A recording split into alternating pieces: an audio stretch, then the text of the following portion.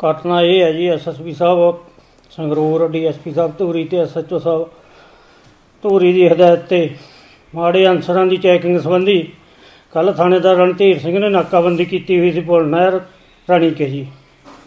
ਜਿੱਥੇ ਇਹਨਾਂ ਪਾਸ ਚਮਕੌਰ ਸਿੰਘ, ਪੁੱਤਰ ਮਹਿੰਦਰ ਸਿੰਘ ਸੇਖੂਪੁਰਾ ਮਿਲਿਆ ਇਹਨਾਂ ਨੂੰ। ਉਹਨੇ ਬਿਆਨ ਲਿਖਾਇਆ ਵੀ ਸਾਡਾ ਸੁਲਤਾਨਪੁਰ ਠੇਕਾ ਜੀ, ਸ਼ਰਾਬ ਦਾ। ਉੱਥੇ ਸੁਲਤਾਨਪੁਰ ਠੇਕੇ ਤੇ ਪਰਸੋਂ ਸ਼ਾਮ ਨੂੰ ਅੱਠ ਬੰਦੇ ਆਏ ਚਾਰ ਮੋਟਰਸਾਈਕਲਾਂ ਤੇ ਜੀ। ਉਹਨਾਂ ਨੇ ਕਰਿੰਦੇ ਦੀ ਕੁੱਟਮਾਰ ਕੀਤੀ। ਕੁੱਟਮਾਰ ਕਰਕੇ ਠੇਕੇ ਤੋਂ 9500 ਰੁਪਇਆ ਨਗਦ ਤੇ ਸ਼ਰਾਬ ਦੀਆਂ ਬੋਤਲਾਂ ਖੋਹ ਕੇ ਲੈ ਗਏ ਜੀ। ਜਿਹਦੇ ਬਿਆਨ ਦੇ ਆਧਾਰ ਤੇ ਜਿਹੜਾ ਹੈਗਾ 8 ਬੰਦਿਆਂ ਦੇ ਖਿਲਾਫ, ਪੰਜ ਬੰਦਿਆਂ ਦੇ ਖਿਲਾਫ 22 ਨੇਮ ਤੇ ਤਿੰਨ ਨਾਮਲੂਮ ਵਿਅਕਤੀਆਂ ਦੇ ਖਿਲਾਫ ਮੁਕੱਦਮਾ ਦਰਜ ਕੀਤਾ ਗਿਆ ਸੀ।